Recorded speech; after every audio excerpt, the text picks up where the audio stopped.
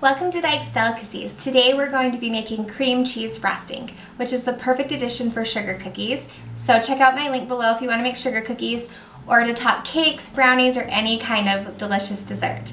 So we are going to start with one 8 ounce package of cream cheese.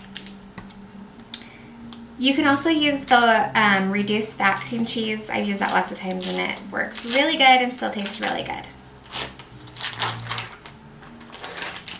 Add that to your mixer.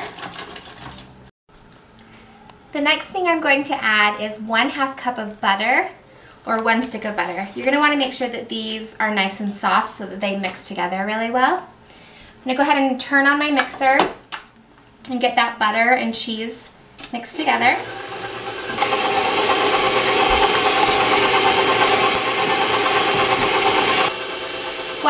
Mixing, you're going to want to add one teaspoon of vanilla. It's gonna give it a really delicious flavor. Let that mix in. And finally, we're going to add about two cups of powdered sugar.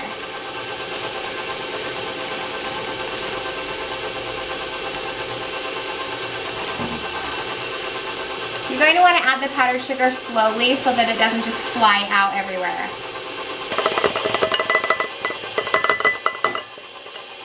Okay, I'm just gonna scrape down the sides a little bit just to make sure that everything gets all mixed together really well.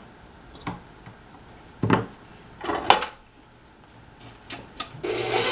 then we're gonna add another cup of powdered sugar.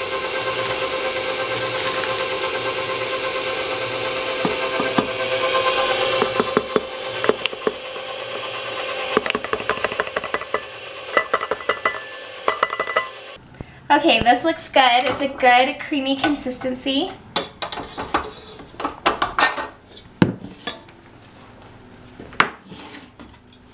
Now, if you like yours a little more stiff, especially if you're going to be piping this, then go ahead and add, you know, a half a cup to a cup more of the powdered sugar.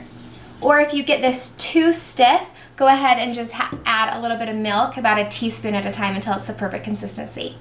Try this on all of your favorite desserts and go ahead and go check out my sugar cookie recipe. It's so good.